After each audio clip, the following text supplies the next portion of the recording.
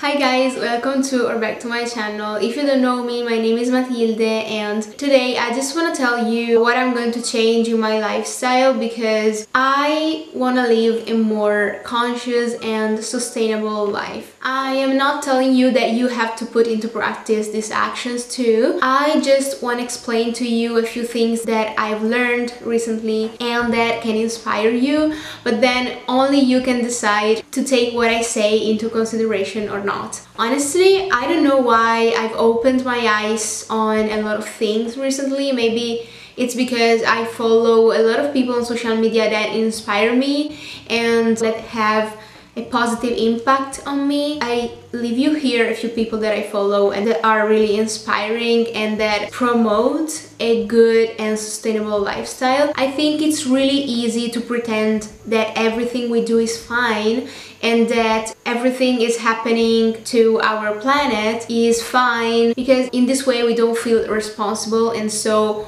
we, we don't feel the need to do something. And if we want to have a future and a good future, not a bad one, we absolutely need to do something today. I've always been that kind of person who was like, well, I don't use plastic straws or plastic bags or plastic bottles and so I'm doing a lot of positive things and I am okay. That was true, I mean I was doing something but I really feel like now I can do way more things. I cannot pretend everything is fine anymore. So in today's video I don't want to talk about the things that we always hear about like avoiding plastic bags because first of all I have already implemented those habits into my lifestyle. And two because we all know that or at least I hope so. I mean we all know that we shouldn't use plastic and that plastic is bad. And so I don't want to be like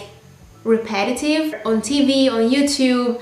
Everybody's talking about this so I think we all know the rules. In this video I want to talk about four specific aspects of my life that I want to improve and be more conscious about. I wrote down a few things, a few notes because I just wanna make sure that I say everything I wanna say. I wanna be more aware of what I wear, what I eat, what I put on my skin and what I own. So the first category, as I said, is what I wear. So, recently I've learned a lot about fast fashion and just let me tell you that it is not a good thing. I think a lot of people don't think about what they wear. There's a documentary, I really recommend you to watch it. It's called The True Cost and basically it's all about fast fashion. They really talk about the negative impact that fast fashion has. If you don't know what fast fashion is, basically it includes all the shops and brands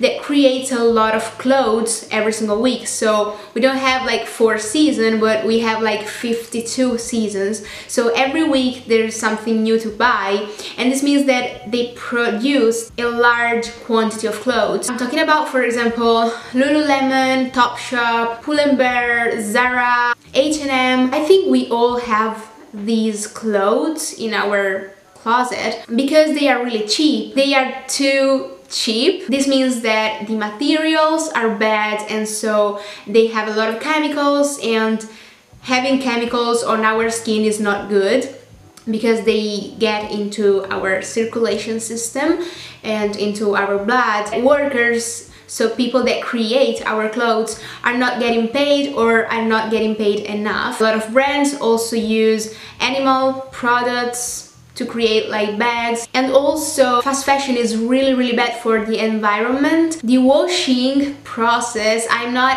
a professional, I don't know the terms, but basically every time they wash the clothes this water goes into like the earth. Okay I, I don't know how to explain that. Just watch that documentary. It's mind-blowing. It just opens your eyes a lot. So from now let's say I I don't want to buy fast fashion clothes anymore. I absolutely want to buy clothes or accessories or stuff in general from sustainable and ethical brands. I mean, I, I really want to be aware of where my clothes come from and of the materials that are in contact with my skin. If you have any brand recommendation, just let me know because I need to buy a few things. I don't know a lot of ethical brands or sustainable brands, so mm, yeah, please let me know. Then what I eat. I have watched another documentary, it's called What the Health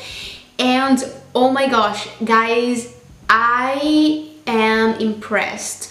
Basically, they talk about the fact that animal products are not good for our health and I already knew that, but the problem and something that was like, I'm shocked, is that this guy that is filming the documentary noticed that a lot of cancer associations are recommending people to eat animal products, even if a lot of scientific articles are saying that they can lead to cancer. So basically this guy is like, why do they recommend something that is leading people to have cancer? He found out that a lot of associations are sponsored by McDonald's, Burger King, and it's crazy. We usually are like, okay, this association is really important and well known. I believe in everything they say. But guys, that's not that's not healthy because it is not true. They are just saying that you have to eat something because they are sponsored. I mean, I don't eat a lot of animal products. I eat meat once a week. I eat fish once a week. I eat cheese once a week and eggs once a week and 80% of my diet is kind of vegan. But now I really want to be more vegan. And now there's like the coronavirus outbreak here in Italy. So I cannot go to a nutritionist. But I think this is something that I really want to do after this is over.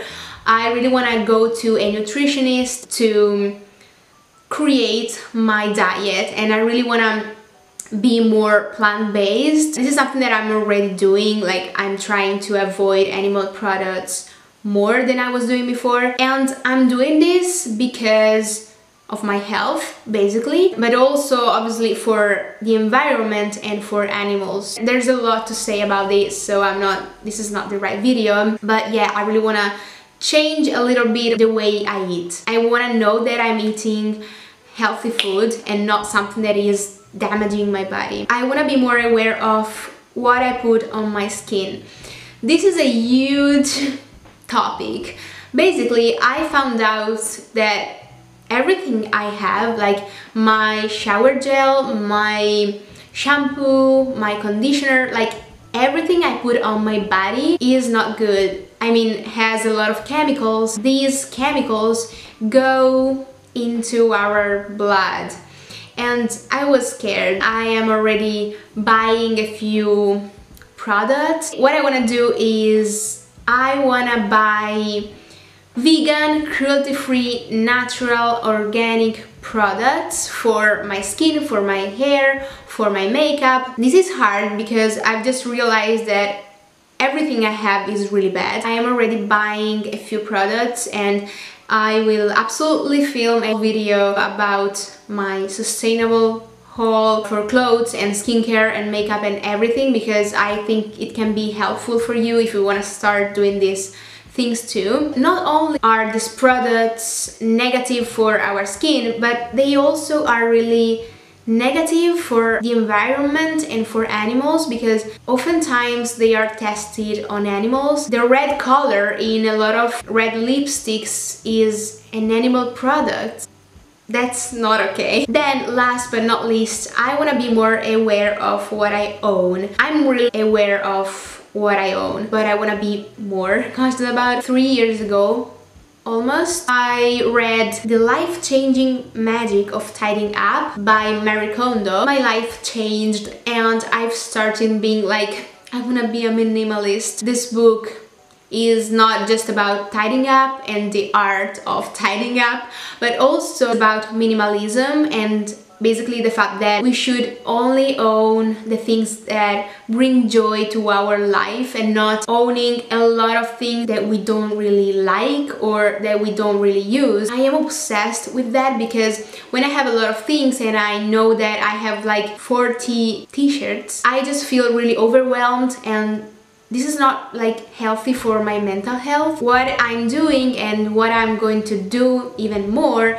is that I am decluttering a lot of things. I have been selling a lot of things. I just want to have the things that bring joy to my life and that I really like and that are important for me. Almost two years ago I moved to Milan and this was really helpful from that point of view because I have a small apartment there and so I only had to take the things that were really important for me and this also made me realize that I don't need a lot of things. I mean when I have the things that I like like I don't know five t-shirts they are enough. You don't need 20 or 40 of them because you're not gonna use them. There's a really good documentary that I've seen recently that is called Minimalism and it's really beautiful. If you have never heard about minimalism, this is the right documentary. It just gives you an overview on minimalism and it's really well done. There is a quote that I remember that is like, love people and use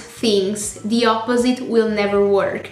And that's so true. When you have less things, you are more focused on your relationships and on people that are in your life. And this is what matters in life, you know, happiness doesn't come from a lot of objects but it comes from our relationships and if you are a minimalist you have to really ask yourself do I really need this thing before buying something. This has a good impact on the environment too because if you don't buy a lot of things, you give this idea of like you don't have to produce so many things because I'm not gonna buy them. And also if you don't buy a lot of things that are plastic made, you are doing something great. We should really be aware of what we buy because if we buy something, it means that this has been produced and using maybe plastic or just creating pollution. Oh my gosh, this video is so long. I'm so sorry, but I really wanted to be exhaustive and I really wanted to tell you everything because